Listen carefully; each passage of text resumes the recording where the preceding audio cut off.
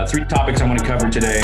Uh, number one, uh, the student loan company Navient they file for summary judgment against the CFPB. Uh, for those that don't know, that is the Consumer Financial Protection Bureau.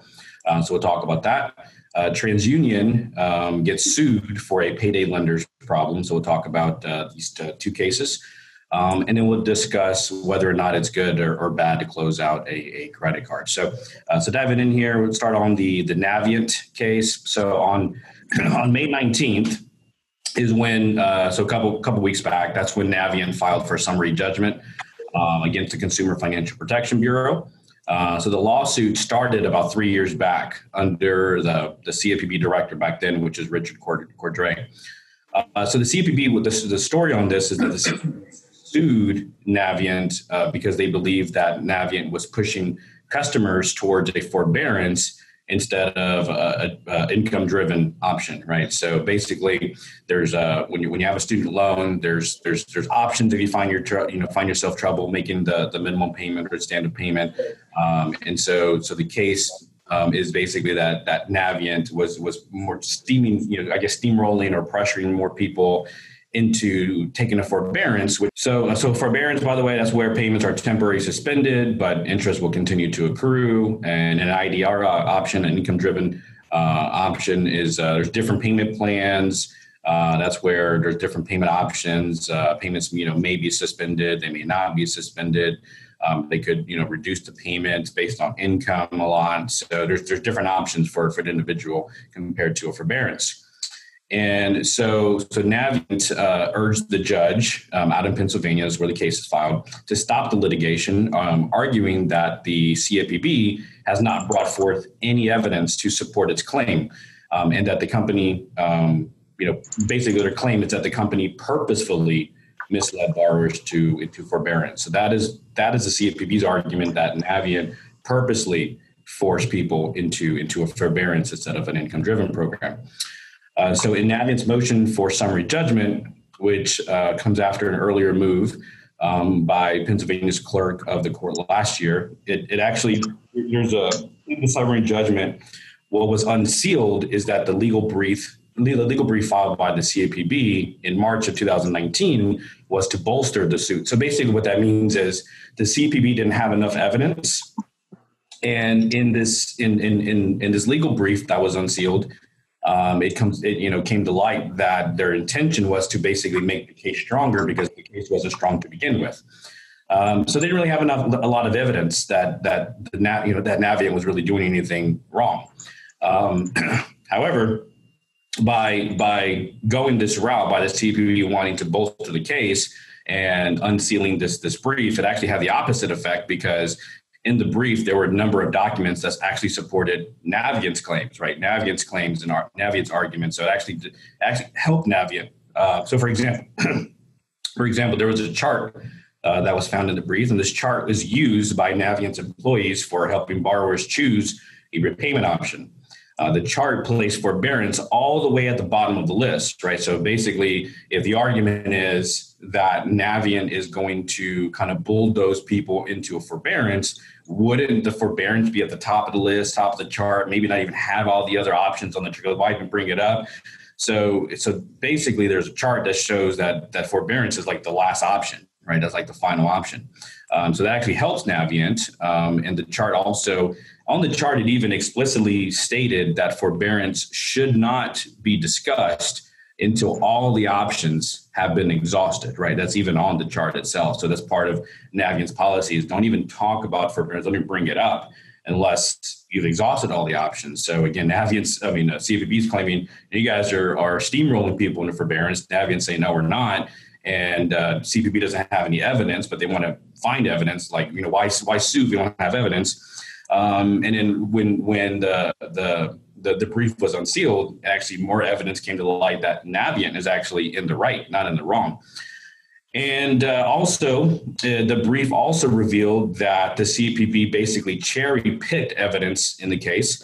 Uh, Navient asked the CFPB to identify specific borrowers who were supposedly harmed by their business practices. The CPB brought up uh, 15 witnesses and uh, Navient had the chance to examine the records of these witnesses, and it showed that Navient hadn't done anything uh, to intentionally mislead them.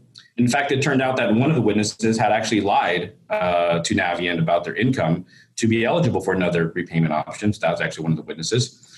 So in the summary judgment, the, the motion for summary judgment states that the CPB no longer seeks to prove that Navient affirmatively pushed borrowers into a forbearance and that the CPB does not even seek to prove that Navient kept borrowers in the dark about the income driven programs. So the motion also makes the makes the point that the CFPB is just using the lawsuit to impose new student loan regulations rather than going through the formal rulemaking process. This is what they do. Uh, it's very this is this is very very true from, from the article because in our industry we're kind of seeing that as well. The CFPB uses picks on industries from time to time, picks on a couple companies, you know, a few here, a few there, uh, in my opinion, the way they go about it, the the CFPB, it's to me, it's kind of like the cartel in a way, which is basically they pick on someone who really can't defend themselves, someone who probably would be scared. Uh, say, hey, look, you know, we're going to come after you for you know a million dollars, and like, well, I don't have that kind of money. Well, we'll settle out for you know for for fifty thousand or a hundred thousand if you just sign this letter that says we're we're in the right, you're in the wrong. Basically, admit to guilt, even though you may not even be guilty. But just sign it so we can, you know, we'll let you go. We'll, we won't let you. We won't have you pay the million dollars. Just just pay the fifty thousand or a hundred thousand, whatever. Sign this letter that we're right, you're wrong, and then we'll go away.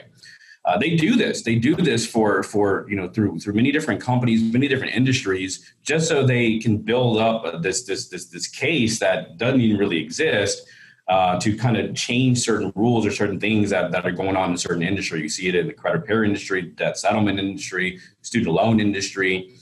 Uh, so, so in my opinion, how the CFPB goes about it is is is immoral. Uh, it's unjust, and if you want to, if you want to change the law, if you want to make changes, go about it the, the right way. Pass legislation. Don't don't go after these these uh, these companies when you don't even have. They're not even doing anything wrong in the first place. You're just trying to make an example of them and um, kudos to Navient for standing their ground. Uh, Lexington Law has also been standing their ground for the repair industry. So, you know, we're uh, there's there's companies, larger companies that you know are are, are sick and tired of, of the CPB not really doing their job. Their job is to protect consumers. So they have really two divisions. They have the enforcement division, and they also have like the consumer division. The consumer division is fine. You know, they're they're they're doing their job. But this the the the enforcement one, they're just poor, poorly ran, poor, poor job um, that, that they're doing. Uh, so what do I tell you this? Well, I tell you this because it's important to know who the regulators are in their industry, kind of what they're all about, what their true colors, um, you know, you know, really, really who they are and what they're trying to do. Uh, they pretend to care about the consumer, and maybe they do. Again, I guess why they have two divisions, but you know, the, on, on you know, an appearance, you know, is that they that they try to you know care about the consumer, but really their true agenda is to get laws passed the unconstitutional way uh, to further, in my opinion, this this idea of this this utopia that that's not going to exist. So, um, so yeah, that's that's what's going on with Navient. That's been a long case that's been going on for some time, and uh, you know, it looks like they're gonna looks like they're gonna win that because CPB doesn't have any evidence. All right, so next next topic is the uh, TransUnion actually gets sued over uh, debt legality. Um, and uh, it's really a payday lenders issue, but uh, TransUnion is the one that gets sued. So it's very interesting, very important to know this as well when we're talking about the Fair Credit Reporting Act. Uh, who's responsible for, for for the debt? Who holds the paper? That kind of stuff. So there's there's two two individuals here, Joseph Denan and uh, Adrian Paget. Uh, they both obtained loans from online uh, payday lenders that are affiliated with uh, Native American tribes. Uh, so, so Denan, uh, he actually took out. He's in. He's from New Jersey. He took out a loan for about sixteen hundred dollars from Plain Green LLC, and the interest rate, of course, you know, was in the excess of three hundred percent because it's a payday loan. And uh, however, what's interesting is that the, the laws, the way the contract is worded, it's it's it's basically has nothing to do with the law uh, from the borrower's resident, where where you know New Jersey, right? So when you're doing business and you're in a consumer is in a different state, your your your contract, your your practices have to be based on you know what is required for that state. So this contract, the payday loan, actually has nothing. You know, has no New Jersey uh, laws in there. So that's that's that's issue number one. And so when Dennis start, start, start when Dennis stopped making the monthly payments, of course, Plain Green, which is the payday lender, they reported to TransUnion. Remember, he borrowed sixteen hundred. Plain Green reported to TransUnion that he had owed twenty six hundred, or actually twenty seven hundred. That's the problem with payday loans, right? You almost never get out of it. It's it's it's it's it's almost endless. Very hard to get out of it. So uh, what's interesting too is that payday loans typically don't report to the bureau. So it's interesting that this one actually reported. I think Speedy Cash is one that reports most cases, but it's interesting that they even reported uh, to the bureau. So so Plainview reported to TransUnion. Um, again, originally borrowed 1600, reported that he owed 2700. And uh, of course, Denan, the, the, the plaintiff, he disputed the report's accuracy and TransUnion investigated and verified the accuracy of the information furnished by Plain Green. So this is the issue. So Denan, the, the consumer in this case, is is is arguing the fact that the balance is incorrect, which he, he's got a good argument there because I borrowed 1600. How do I owe 2600, 2700? Well, the rate has a, has a big part to, to do with that. But he's not in the wrong for wanting to argue that. He's arguing that the issue is he went after the way he went about it. Well, the way he started is, is fine, but then the lawsuit, the lawsuit went, went in the wrong direction. So we'll talk about that here in a bit. So obviously, when you dispute something, the dispute goes to TransUnion, and when the dispute letter arrives, as we know, it gets scanned into into the system. The, the dispute letter gets converted into into just you know encrypted code. Uh, you know, and you know, automation sequences begin. They notify the uh, the furnisher of that information. Hey, you have a dispute. Here's the basis of the dispute. So when that dispute came to TransUnion, within 24 hours, TransUnion will then notify the payday lender in this case and the dispute it doesn't say the you know what he disputed but more than likely he probably disputed hey this balance is incorrect right? You know please investigate. And if it's you know incorrect then delete the account right? That's probably the, the basis of the dispute. That's how most the majority of disputes are, are, are done. Um, and so that probably was the argument was this balance is incorrect. So when transunion forwards that dispute to the payday lender hey your consumer, your client here says the balance is incorrect. So please, you know, respond to the dispute. Well, the payday lender is going to say, you know, they have somebody that does the disputes, and okay, let's look it up, the records. Okay, find the client. They can, you know, social balance. He says it's incorrect. No, it's it's correct. That's the right balance. And then they just respond to the dispute. They nope, it's correct. And TransUnion goes back to the consumer and says, okay, no, they responded. They said it's correct. So you know, that's the end of the day.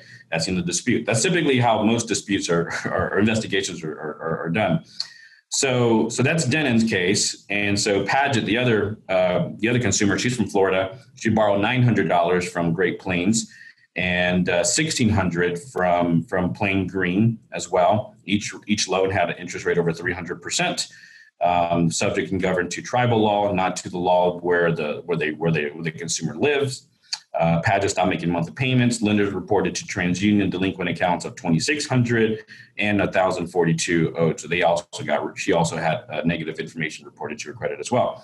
So they both brought a a, a, a class action lawsuit against TransUnion, um, alleging it violated two provisions of the Fair Credit Reporting Act. Uh, which requires consumer reporting agencies to assure maximum possible accuracy of the information contained in the credit report. So their suit is against TransUnion. Um, when actuality, they really should have gone after the, the payday lender. I think that the, their, their case would have been that the contracts ha- uh, have verbiage that are not pertaining to our state where we reside, right? And I think they would have had a good case there. I think they had a good argument in going after the payday lenders directly, but they went after TransUnion. They went after TransUnion over a Fair Credit Reporting Act uh, violation. But the district court dismissed the case, finding that the cited provisions of the act did not require TransUnion to verify the legal validity of the reported de- uh, debts. So that's the issue. So they also sued based on the fact that the debts are invalid, and because probably because of the contract argument, maybe they were trying to go about it the right the right way, but they sued the wrong person. They sued TransUnion. They should have sued the uh, the, the payday lenders. Um, so they lost that case. They did file an appeal and um, the uh, the uh, the appellate panel began by noting that the plaintiffs did not sue the lenders to void their debts, nor did they seek an adjudication to invalidate them. So, um, you know, again, they're just they're going about it the, the wrong way. But it's interesting how the the the case here is brought against TransUnion. In fact, I, I do believe they do bear a big amount of, of cases where if the if the attorney uh, that they that they hired knew consumer debt you know laws a little bit better or knew who who what's going on here they would have known to not really go after TransUnion. Maybe bring them in to strengthen the case, um, to get them to maybe testify against um, the uh, the payday lenders. But really, they should have gone after the payday lenders. Um, they would have had a better chance there and, in doing that. But uh, so when it when it comes to debt debt validation, debt validation is is is better done directly to the furnisher of that information, right? We're, we're seeing that in our process. And you know, when when when Eric and Sherry take take over the file, where we're asking the debt collectors to validate the debt is is legit, is is accurate, belongs to the consumer, they have the license to collect the type of debt in the states uh, all that stuff. We're asking them to validate the debt. You can't. You don't ask the, the, consumer reporting agency. You don't ask TransUnion. You don't ask Experian. You don't ask Equifax to validate their the, the debt. That's not their job. They're not required to do that.